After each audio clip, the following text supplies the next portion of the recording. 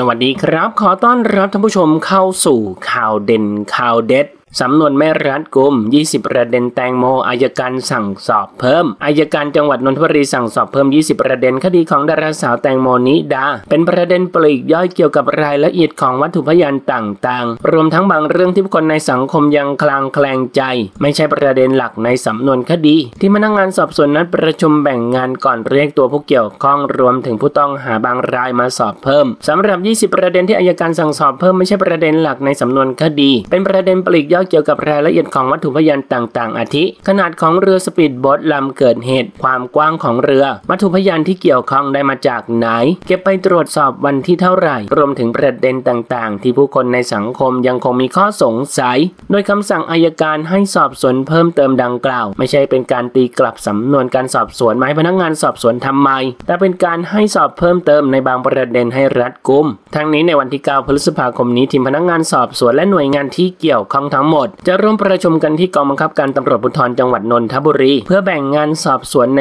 20 ประเด็นตามที่อายการให้สอบเพิ่ม หลังจากนั้นจะเรียกผู้เกี่ยวข้องอาจจะรวมถึงผู้ต้องหาบางราย เพื่อเข้ามาสอบปากคำเพิ่มเติมต่อไป ที่กองบัญชาการตำรวจภูธรภาคหนึ่งจงเที่ยงวันเดียวกันตำรวจชุดคลี่คลายคดีพร้อมด้วยฝ่ายกฎหมายตำรวจภูธรภาคหนึ่งประชุมหารือรวบรวมพยานหลักฐานในการแจ้งความดำเนินคดีนายอัจฉริยะเรืองรัตนพงศ์รวมทั้งบุคคลอื่น ๆ ที่ออกมาพูดกล่าวหาพาดพิงคณะทำงานคดีแตงโมทำให้สังคมประชาชนเกิดความสับสนจนเกิดความเสียหายต่อทั้งบุคคลและองค์กร โดยพนักงานสอบสวนจะเข้าไปแจ้งความที่สถานีตำรวจนครบาลประชาชื่น แพทย์สถาบันนิติเวชโรงพยาบาลตำรวจ จะเข้าแจ้งความที่สถานีตำรวจนครบาลปทุมวัน และตำรวจพิสูจน์หลักฐานหนึ่งปทุมธานี จะเข้าแจ้งความที่โรงพักในพื้นที่จังหวัดปทุมธานี แต่ยังไม่ระบุวันเวลาที่แน่ชัด ด้านนายอิทธิพรแก้วทิพย์อธิบดีอายการสำนักงงานคดีอาญา ในฐานะโฆษกสำนักงงานอายการสูงสุดเปิดเผยว่า เท่าที่ทราบมาจากทีมอายการจังหวัดนนทบุรีที่รับผิดชอบดูแลคดีแตงโม